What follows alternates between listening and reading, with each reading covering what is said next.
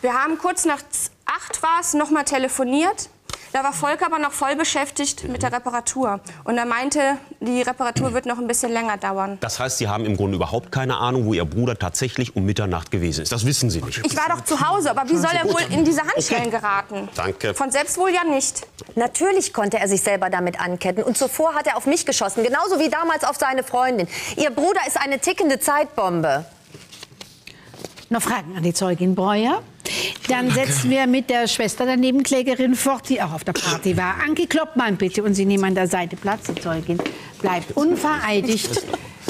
Frau Kloppmann, bitte nehmen Sie Platz. Frau Kloppmann, dass man bei Gericht die Wahrheit sagen muss, wissen Sie. Und wenn man das nicht tut, macht man sich strafbar. Ihr Vorname ist Anke, Sie sind 36, wohnen in Köln. Was sind Sie von Beruf? Grundschullehrerin.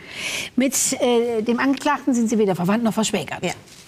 Frau Kloppmann, Sie sind die Schwester von Rechtsanwältin Klingenberg und sind Silvester 2009 natürlich auch auf dieser Party Ihre Schwester gewesen. Können Sie sich daran erinnern, den Angeklagten auf dieser Party gesehen zu haben? Kann sein, kann aber auch nicht. Das habe ich auch der Polizei so gesagt. Wenn ich ihn mir jetzt so angucke, denke ich eher nicht. Aber da waren so viele Leute, da konnte man sich wirklich nicht jedes Gesicht merken. Kirsten, du darfst mir jetzt nicht böse sein, dass ich damit komme, aber Anke? Ich habe da noch mal ganz genau drüber nachgedacht. Ich glaube, das ist alles ganz anders, als ihr denkt. Frau Kloppmann, wie, was soll anders gewesen sein? Ähm, also alle gehen ja davon aus, dass man auf Kirsten geschossen Ja. hat. Und ähm, weil sie ja in der Schulter getroffen wurde. Aber ich glaube, eigentlich hat man mich treffen wollen. Ach, Anke, bitte. Jetzt siehst du, jetzt bist du doch genervt. Aber ich muss doch hier sagen, was ich denke. Vielleicht lassen Sie sie einfach mal aussprechen, wir hören jetzt mal weiter. Und weiter. So. Was war jetzt auf der Party? Ach, die Party war super und das Essen war toll und überall waren Fackeln im Garten aufgestellt, einfach grandios. Ja, wir können es uns vorstellen. Ich habe die Bilder gesehen und ich meine, was Sie aus Ihrer Bibliothek gemacht haben mit diesen Flaschen, beneidenswert. Weshalb hätte dort jemand auf Sie schießen sollen jetzt? Also ich habe mich da mit Kirstens Nachbarn unterhalten, mit dem Wolfgang, weißt du ja. Ja. Ja, und? Was hat der Wolfgang denn jetzt damit zu tun? Na warte, also ich hatte mich an dem Abend wirklich ganz doll aufgebrezelt. Ich sah super aus, hast du selber gesagt. Und das fand anscheinend dieser Wolfgang wohl auch. Jedenfalls habe ich dann auch noch mit ihm getanzt. Ja, das stimmt. Lambada. Haben wir alle nicht schlecht gestaunt, oder? Hätte es nie vergessen können. Ne? Ja, das hätte ich mal besser sein lassen. Warum? Was ist jetzt nach diesem Lambada passiert? Also der hat die ganze Zeit an mir rumgegrapscht. Hier einen Arm rumgelegt, da einen Arm rumgelegt. Ich habe dann gesagt, Wolfgang, weißt du, also stehen kann ich noch alleine. Irgendwann haben wir uns dann hingesetzt und wumms hatte ich dessen Grapschfoto auf meinem Schenkel. Ja, aber das hatten wir doch jetzt schon zehnmal. Was ist denn daran so brisant? Ja, du weißt doch, was er dann noch zu mir gesagt hat. Er hat dann gesagt, komm, wir lassen hier das große Feuerwerk ausfallen und dann gehen wir rüber zu mir. Und dann machen wir unser kleines Feuerwerk, nur wir beide im Schlafzimmer. Genau, ein ganz kleines Tischfeuerwerk. Ich meine, auf die Idee haben Sie ihn doch möglicherweise beim Lambada-Tanzen selber gebracht. Nach Was Lambada hat denn das eine mit dem anderen zu tun? Also ich habe dann zu ihm gesagt, Feuerwerk, ich gebe dir gleich Feuerwerk. Und dann hat er sein wahres Gesicht gezeigt. Das interessiert mich. Wie sah das wahre Gesicht von diesem Wolfgang aus? Ja, er war total angepisst und hat dann zu mir gesagt, äh, was ich mir einbilden würde. Und wups ist er abgedampft. Hat er nicht noch etwas mehr gesagt? Ich habe zufällig in der Nähe gestanden. Wenn Nee, also da kann ich mich nicht dran erinnern. Aber eins weiß ich ganz genau, ich hatte panische Angst. Bei so Psychos weiß man überhaupt nie, wie die reagieren, wenn man die mal abweist. Und ich gehe davon aus, er ist rübergegangen, hat sich seine Waffe geholt, ist wiedergekommen, hat geschossen. Ja, und Kirsten hat er dann getroffen. Kirs, äh, Frau Klingbeck, ist Ihnen bekannt, ob, er, ob Ihr Nachbar über Schusswaffen verfügt? Kann sein, der, der Wolfgang ist Sportschütze, aber das, der würde nie auf einen Menschen schießen, also wirklich nicht. Das ist ein ganz lieber Schluff, ist das. Und äh, ja, der hat halt ein bisschen Pech mit Frauen und wenn er auf jede Frau schießen würde, die ihm einen Korb gibt, dann müsste der ständig um sich ballern. Also das kann überhaupt. Aber ich meine, das, was Ihre Schwester hier sagt, das ist zumindest für mich jedenfalls genauso plausibel wie, wie das, was der Herr Römer versucht, gegen ihn Entschuldigung, vorzubringen. Frau Tasic, das ist es mit absoluter Sicherheit nicht. Ich habe dieses Szenario mitbekommen. Ich habe auch noch ein paar andere Sachen mitbekommen, Frau Tasic. Und vielleicht, um diese Geschichte hier aus der Schusslinie zu nehmen, würde ich gerne dazu eine Aussage als Zeuge machen mit Ihrem Einverständnis. Ich würde mich bemühen, kurzfristig eine Vertretung äh, für meine Aussage zu Bemühen Sie sich. Noch Fragen an die Zeugin Nein. Kloppmann? Ja nicht Die wird, Verhandlung wird kurz unterbrochen, bleibt unvereidigt. Sie nehmen hinten Platz, bis die Sitzungsvertreterin für. Sie da ist. Herr Staatsanwalt Röber, dann darf ich Sie bitten, Ja, Frau Dank. Dreimüller hat sich angekündigt. Ja, ich hoffe, sie kommt auch. Das hoffe ich Eigentlich auch. Ist sie pünktlich. Frau Dreimüller, vielen Dank, dass Sie mal eben die Sitzungsvertretung für diesen Zeugen übernehmen. Ich danke Ihnen. Der sich spontan gemeldet hat. Herr Staatsanwalt Römer, nehmen Sie Platz. Auch Staatsanwälte haben die Wahrheit als Zeuge zu sagen und sonst machen sie sich strafbar. Herr Staatsanwalt Römer, Ihr Vorname ist Bernd. Sie sind 41 in der Zwischenzeit? Oder Noch nicht, noch nicht lange.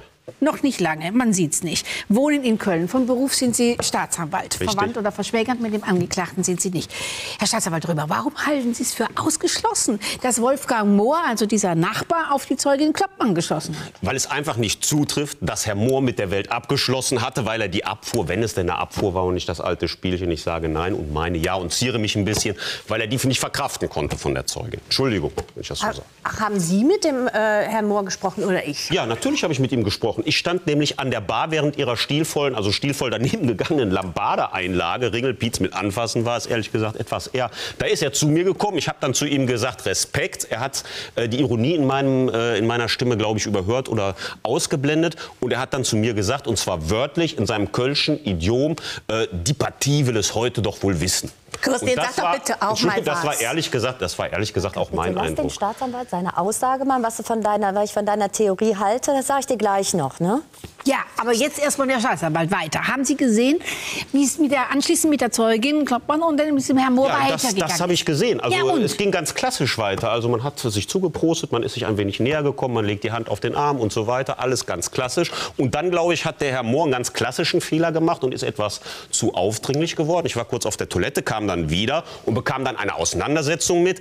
Die war vom Wortlaut her ungefähr so, dass sie dem Herrn Mohr sagte, also so plump vertraulich brauchst du mich gar nicht anzumachen. Was glaubst du eigentlich, wer du bist? Und daraufhin sagte Herr Mohr dann zu ihr, tut mir leid, wenn ich jetzt das hier alles so erzählen muss, äh, du bist auch nicht gerade die tollste Frau auf dem Planeten. Und dann hat er gesagt, ähm, äh, also du bist ein bisschen fest äh, um die Hüfte. Und dann hat er auch noch was gesagt. Ich weiß aber nicht, ob ich das jetzt hier so detailliert Ja, unbe unbedingt. Jetzt werde ich ja ganz neugierig. Wir sind doch sonst nicht so genannt, Herr Römer. Bitte. Also er hat gesagt, hör mal, um die Hüfte bist du ein bisschen fest und obenrum hast du nicht halb so viel wie deine Schwester. Das tut mir leid. Ja, also mit anderen Worten, was heißt das denn? Nicht zu also, Ihre Gäste. Sie haben sich zu viel in Strafgerichtssälen getummelt. Sie haben doch nichts anderes gesagt. Der Herr Mohr hat zwischenzeitlich eine Abfuhr bekommen Mhm. und wurde dann auch extrem ausfällig. Also ich meine, von da bis zu einer Affekttat ist es doch nur so viel. Ich meine, gerade auch wenn man mit Kränkungen vielleicht gewohnt ist, umzugehen oder auch nicht umzugehen oder wie auch immer. Ja, genau so ist es. Also genau so ist es natürlich nicht, Frau Dasic. Natürlich mal wieder der falsche Schluss.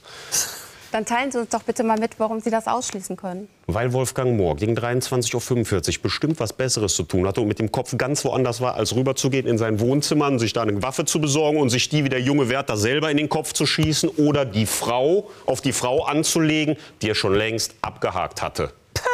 Ja, da war was los auf dieser Party, das kann ich, Ich sagen. langsam auch, Herr Staatsanwalt Römer, ich wollte heute Nachmittag noch fertig werden. Ja. Äh, zügig jetzt. Also, äh, ich habe äh, gegen 23.45 Uhr so einen kleinen Rundgang durchs Haus gemacht und habe dabei den Herrn Mohr gesehen mit einer anderen Dame. Die war mir bis dahin nur oberflächlich bekannt und die schien sich ganz nah zu kommen. Ich habe sogar, Frau Vorsitzende, vielleicht kann ich das zum Gegenstand der Beweisaufnahme machen. Ich hatte mein Handy dabei und ich habe da ein paar Fotos davon gemacht. Dann können wir das Ja, auch noch einführen. Das kann ich Ihnen mal zeigen. Die haben mich da genötigt äh, äh, zu Genötigt? fotografieren. Schön. Das ist das eine Foto, das ist das andere. Da sind die Und Sie beide. meinen, er hat Sie schön getröstet und ist auf Gegenliebe gestoßen? Ich hatte den Eindruck, dass er bei der Dame auf extrem viel Gegenliebe gestoßen Ja, ist. Wenn ich Eindruck. ehrlich bin. Vielen Dank. Herr Römer, für Ihren Eindruck kann ich mir ehrlich gesagt überhaupt nichts verkaufen. Können Sie das auch begründen? Waren Sie schon mal auf gemischt-geschlechtlichen Partys, Frau Tasic, oder gehen Sie immer nur auf Nonnenbälle? Ich weiß es nicht. Die beiden haben sich unterhalten. Dann hat diese Dame gesagt zum Herrn Mohr, weißt du was, ich lade dich auf einen Kaffee bei mir zu Hause ein. Die Party war sehr ordentlich. Frau Klingberg ist jetzt keine Kritik, aber Kaffee gab es bei Ihnen wirklich nicht. Insoweit war das eine sehr gute Idee. Und dann sind die beiden zusammen in ein Taxi gestiegen Aha. und dann sind die weggefahren. Wo seine, Stellen Sie sich das mal vor. wo seine Kaffeemaschine im Haus nebenan steht. Frau Tasic, wie zwei erwachsene Menschen die Frage, gehen wir zu mir oder gehen wir zu dir, beantworten. Das müssen Sie schon denen selber überlassen. Was weiß ich denn, was der für Gründe hatte, nicht zu sich nach Hause zu wollen? Vielleicht lief es eben gerade gut. Jedenfalls sind die beiden ins Taxi, die sind weg. Und um 23.45 Uhr und um Mitternacht haben die, was weiß ich, gemacht. Vielleicht sogar Lambada getanzt. Aber Herr Mohr ist nicht auf der Party gewesen, definitiv nicht. Und schießt auf eine Frau, mit der er nichts mehr zu tun hat. Also damit können wir jetzt hier abschließen. Oder gibt es noch Fragen an den Zeugen Römer? Das ist mein Handy, Frau Vorsitzende. Das ist mit Sicherheit die Kriminalpolizei. Nehmen Sie ruhig an den Anruf. Drei Müller, Apparat Römer. Ja, ich gebe es weiter. Der Zeuge Alexander Orlowski könnte jetzt hier vernommen werden. Äh, schön. Äh, dann setzen wir mit Herrn Orlowski fest. Herrn Orlowski bitte zuführen, äh, bleibt unvereidigt. Herr Staatsanwalt Römer, Sie könnten weiter übernehmen oder fühlen Ja, Sie. Ihrer Rolle als Zeuge Ich finde es ja auch ganz interessant, aber ich glaube, ich zu übernehme. Ende und Sie übernehmen, seien Sie so nett weiter. Vielen Dank, Frau Dran. Kann ich auch Frau Tasic nicht antun, hier aus dem Saal zu gehen, so früh.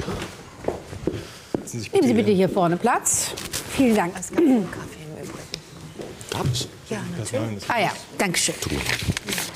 Dass man bei Gericht die Wahrheit sagen muss, wissen Sie. Und wenn man das nicht tut, macht man sich strafbar. Man kann immer dann schweigen, wenn man sich selber bei wahrheitsgemäßer Aussage einer Straftat bezichtigen müsste. 55. Herr Orlowski, Ihr Vorname ist Alexander. Sie sind 37 Jahre alt, besitzen die russische Staatsangehörigkeit, wohnen in Köln. Was sind Sie vom Beruf? Ich bin Türsteher. Sind äh, Sie mit dem Angeklagten verwandt oder versprägert? Nee, den habe ich noch nie gesehen. Aber glauben Sie mir, ich kann jeder Gesicht merken. Herr Breuer war der Zeuge einer der drei Menschen, die Sie am Silvesterabend im Restaurant Ihrer Schwester gefesselt haben. Ich glaube. Ja, der war dabei. Herr Orlowski, am Silvester 2009, wo sind Sie da gewesen? Im Flieger Wo geht's hin? nach Berlin. Kumpel von mir hat Party gefeiert. Wann sind Sie abgeflogen? 20 Uhr. Das kann ich bestätigen, Frau Vorsitzende. Wir haben das zwischenzeitlich überprüft. Der Flug wurde nicht nur für ihn gebucht, er hat ihn auch genommen. Hat der eine eben so ausgesehen wie er? Was weiß ich, wer die drei waren. Wahrscheinlich seine, seine Cousins oder seine Brüder. So einer hat so nicht nötig, die Drecksarbeit am Silvesterabend selber zu machen. Ja, die, haben mich, die haben mich festgemacht mit Handschellen. Ja? Als Warnung, was passiert, wenn meine Schwester nicht zahlt. Gib das doch zu. Das, Mann, für mich geht's hier um alles. Kann ich jetzt gehen? Sobald ich Sie entlassen habe, derzeit noch nicht. Ich will meinen Anwalt sprechen. Ich habe den Krechel heute nicht erreicht. Wissen Sie, wo der ist? Nein, ich bin nicht die Nanny von Herrn Rechtsanwalt Krechel. Was wissen Sie über Schutzgelderpressungen im Breuers, also im Restaurant der Zeugin, die da hinten in der Mitte sitzt, wenn Sie sich mal umdrehen? Davon weiß ich gar nichts. Sagen Sie, äh, können Sie sich äh, nur Gesichter merken oder vielleicht auch einfache, kurze Sachverhalte? Mein Gott, die Polizei hat das Telefon eines ihrer Handlanger abgehört. Ja? Und äh, der spricht dort äh, mit Ihnen, äh, wohin er die Einnahmen bringen soll für Sie. Und sicherlich nicht, weil er keine anderen Hobbys hat, sondern weil er für Sie arbeitet. Herr Orlowski. Die Leute reden viel, wenn der Tag lang ist. Ne? Was habe ich damit zu tun? Das habe ist Ihr keine Problem, weil auf Sie sehr viel lange Tage und sehr wenig Partys zukommen. Vielleicht in der Dusche. Frau Breuer, haben Sie den Zeugen Orlowski schon mal gesehen? War er an den Schutzgelderpressungen beteiligt? Er war der Wortführer an dem Abend, als alles angefangen hat. Ich will der Krechel. Also ich kann ehrlich gesagt gut auf ihn verzichten. Aber das mal zum Thema Schutzgeld. Da ist Silvesterabend überhaupt nichts passiert bei Ihnen. Nichts. Frau Breuer, Sie wirken so, als ob Sie noch was sagen wollten. Ja, ich weiß ja nicht, aber vielleicht ist es bei Verbrechern ja auch anders. Aber ich kenne das nur so, Selbstständige kennen keinen Feiertag. Und ich habe das Geld ja nicht gezahlt. Insofern würde ich davon ausgehen, dass sich der Chef da selber drum kümmert. Das muss in solchen Kreisen nicht zwingend sein. Äh, Aber warum fragen Sie sich das jetzt? Zweifeln Sie doch an der Aussage Ihres Bruders? Im Leben nicht. Meine Schwester glaubt mir. Ich weiß nicht. Herr Staatsanwalt Römer, hat man eigentlich untersucht, äh, die Wende, ob dieser Wasserrohrbruch, ob dem nachgeholfen worden ist oder ob der wirklich äh, passenderweise Nein, das ist nicht gemacht worden, Frau Vorsitzende. Aber das ist alles komplett durchfotografiert worden und der Ort ist auch noch nicht saniert. Man könnte das also noch feststellen. Und die Überlegung ist tatsächlich, hat Ihr Bruder möglicherweise da etwas nachgeholfen, dass es diesen Wasserrohrbruch gab und dass er damit ein quasi unerschütterliches Alibi haben würde.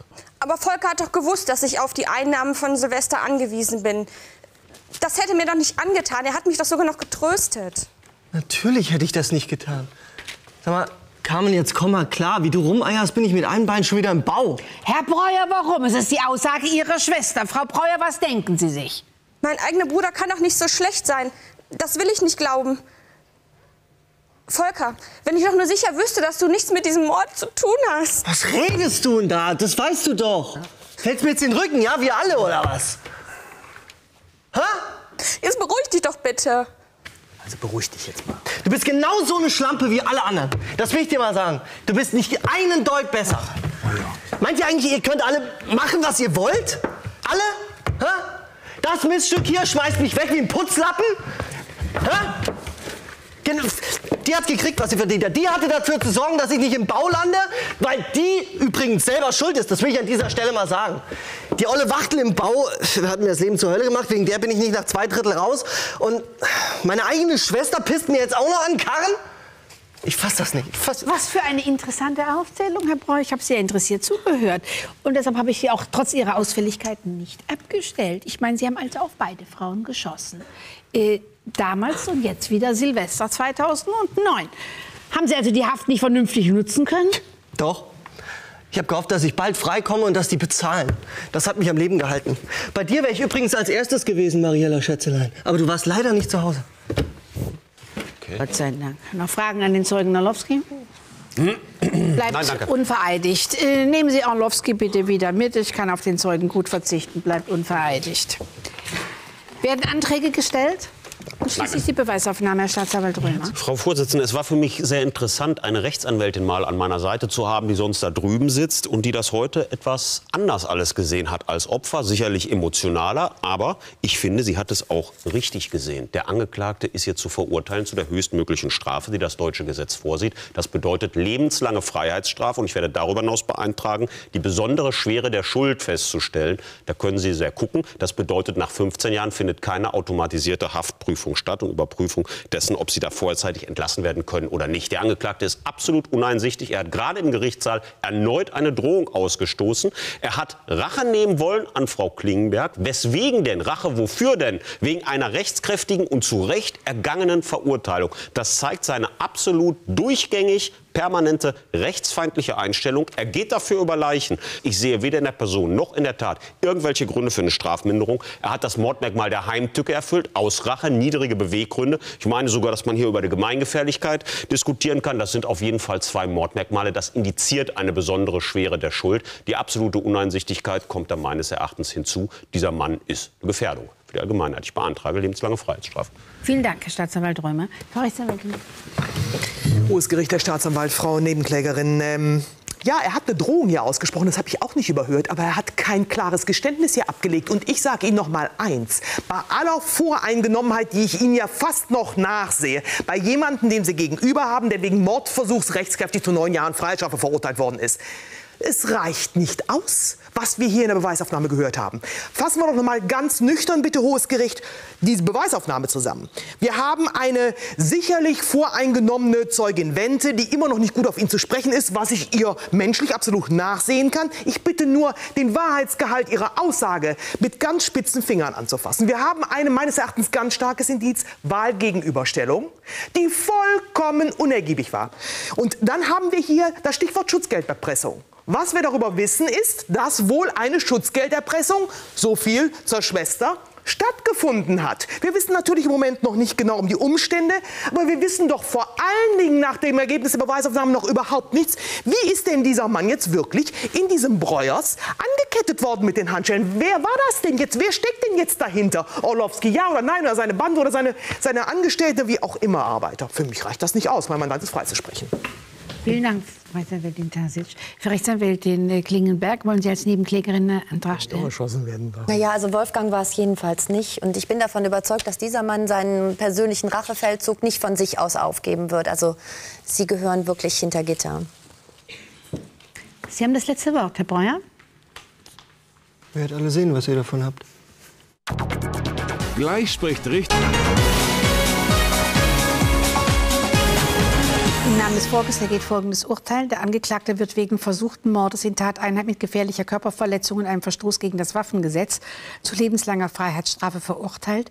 Die Schuld des Angeklagten wiegt im Sinne des 57a römisch 1 arabisch 1 Nummer 2 StGB besonders schwer und er trägt die Kosten des Verfahrens. Bitte nehmen Sie Platz, meine Damen und Herren.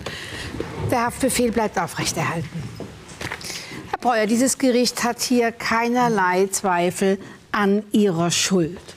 Und nicht nur, weil Sie es hier nach meiner Meinung nach gestanden haben, sondern auch wegen der anderen Indizien. Sie haben in all diesen neun Jahren nichts unversucht gelassen, weiter Druck auszuüben, trotz der Schwierigkeiten aus dem Vollzug auf ihre damalige Freundin. Und sie haben auch Druck ausgeübt auf die Rechtsanwältin Klingenberg. Leider sind die Briefe, das passiert halt so, dass wenn man bedroht wird, dass man diese Briefe wegschmeißt. Und fehlen hinterher Beweismittel, aber ich habe keinen äh, Zweifel, dass das so gewesen ist. Und am selben Tag, als sie entlassen sind, stehen sie bereits vor Rechtsanwältin Klingenbergs Haus. Und dass sie sich entschuldigen wollten. Das brauchen Sie mir nicht zu erzählen. Das stimmt schlichtweg nicht. Denn wenn das jemals gewesen wäre, es passt nicht zu allem anderen, hätten Sie, Sie jedenfalls immer Worte gefunden des Einschmeichelns, wie Sie es ja auch hier versucht haben mit Ihrer Schwester. Ähm, Und wegen der besonderen Schwere hier der Schuld.